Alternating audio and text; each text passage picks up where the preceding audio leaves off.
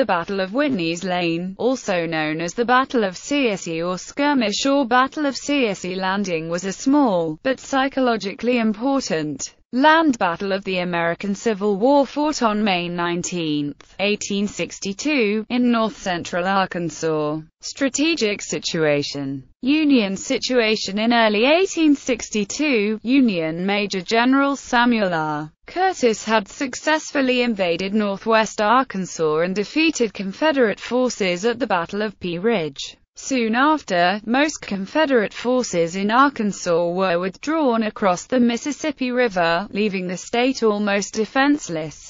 Curtis intended to press his invasion with the hope of reaching the capital city of Little Rock and knocking the state out of the war. Confederate situation The Confederate outlook in the spring of 1862 was grim. Most of its armed forces had been withdrawn from Arkansas and no commander with field experience remained. General John Selden Roane was put in charge of the Arkansas forces, and Maj. Gen. Thomas C. Hindman was placed in overall command of the Trans-Mississippi Department. On his arrival, Hindman found that he had virtually no troops and only 15 pounds of gunpowder with which to defend the state. Maneuvering to battle. Union movements General Curtis began his movement from northwest Arkansas in early April. He moved his 17,000-man army back into Missouri to take advantage of better transportation routes and headed east. He established his base of supply at Rolla, Missouri.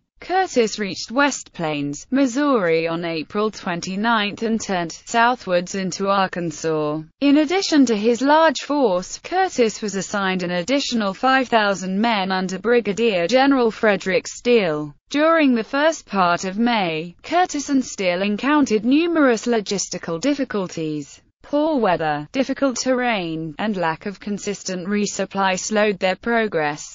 But by May 9, Kurt a large, but ill-supplied, force had emerged from the Ozark foothills onto flat ground at Searcy. It was poised to strike deep into central Arkansas and seize Little Rock itself as soon as supplies were gathered. While encamped at Searcy, Curtis and overall commander Major General Henry W. Halleck began to correspond about the upcoming federal administration of Little Rock. Confederate movements Confederate generals Hindman and Roane set to work immediately in cobbling together a defense to meet the approaching Union Army. Hindman stopped elements of the 12th Texas Cavalry that were bound for the eastern theaters and ordered troops who had made it as far as Memphis, Tennessee to turn around. Some attempts at recruiting local volunteers were made, but with little success.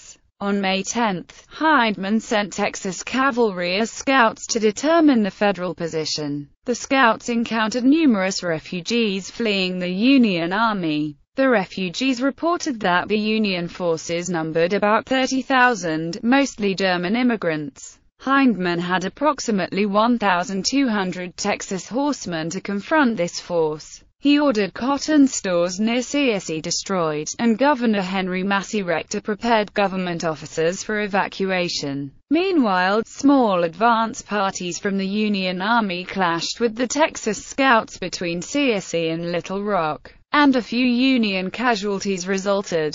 By May 19, several companies of the Texas Cavalry had reached Searcy Landing and awaited an opportunity to strike the overwhelming opponent. The battle. Union General Curtis continued to worry about logistical problems, as his supply line was unable to provide the necessities for his army. He ordered Colonel Peter J. Osterhaus to send a strong foraging party to nearby farms. It consisted of seven companies of mixed infantry and cavalry from the 17th Missouri Infantry and the 4th Missouri Cavalry. The forage party crossed the Little Red River, and proceeded to two farms along Whitney's Lane. Scouting parties reported the movement of these companies to Colonel Emory Rogers, commander of approximately 150 Texas cavalrymen and local volunteers. About 300 additional Confederate troops were on the way, but Rogers decided to attack even though he was outnumbered. He divided his forces into two groups of Texans and one of Arkansans and ordered a mounted charge down the lane. The initial charge overran Company H of the 17th Missouri, which dissolved under fire and fled toward Company F, which was attempting to set up a defensive position in a tree line. The combined companies fought bravely for a few minutes, as more Confederates came up to press them. The untrained and undisciplined Texans and local volunteers attacked furiously, and in some cases apparently ignored Union soldiers' attempts to surrender. Within a short time, Company F had been routed as well. Meanwhile, Company G of the 17th and some Union cavalry moved forward and traded volleys with the Confederate horsemen. Major Eugene Kielmansegg of the 4th Missouri Cavalry ordered the rest of the available Union troopers to charge the Confederates. Company C of the 4th Missouri Cavalry plowed into the attackers and managed to drive them back into the woods between the foraging detail and the rest of the Federal Army. Other Federal cavalry continued to arrive at the position. Kielmansegg, having concentrated his forces, set up a defensive position and continued to exchange fire with the Confederates as they prepared for another attack. Meanwhile, other companies of the 17th Missouri had heard firing from the base camp across the Little Red River and marched out to relieve the forage party. Confederate Major Rogers ordered his men to retreat to the southwest and most did though the Arkansans and some Texans remained on the field and attacked the relief column before withdrawing. The 300 expected Confederate reinforcements arrived on the field just after the retreat had been sounded and joined in the withdrawal. The aftermath the battle at Whitney's Lane had lasted one hour and resulted in 51 Union men killed or wounded and approximately 10 Confederate casualties. The 17th Missouri Infantry lost only 68 men during the entire war, nearly one-third of those were at Whitney's Lane. The battle was little more than a skirmish, but the psychological and strategic effects of the conflict were far more than was reflected by the number of casualties.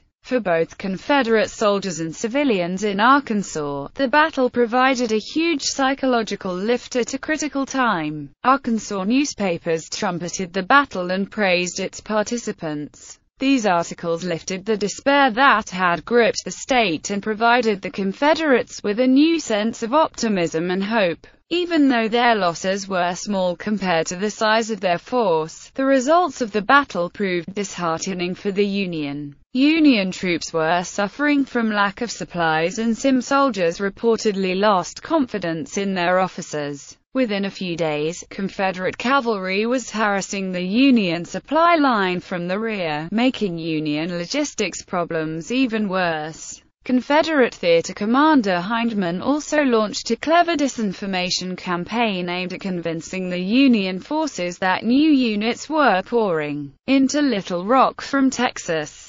By May 31, Curtis began to rethink his position in the face of the Confederate activity. On June 2, Curtis held a council of war, and the Federal commanders agreed to a retreat toward the Ozark foothills. By the end of June, Curtis had abandoned his campaign against Little Rock entirely and moved to Helena, Arkansas to establish a new supply line at the Mississippi River.